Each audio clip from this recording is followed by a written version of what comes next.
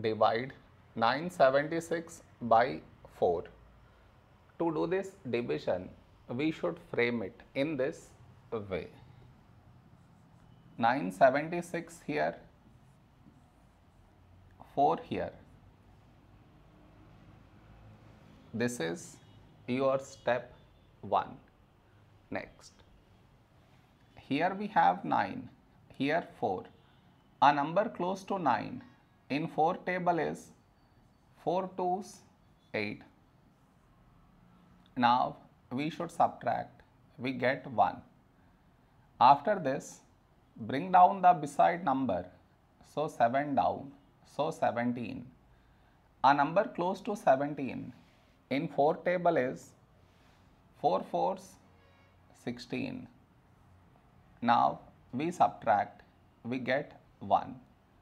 After this, bring down the beside number. So 6 down, so 16. When do we get 16? In 4 table.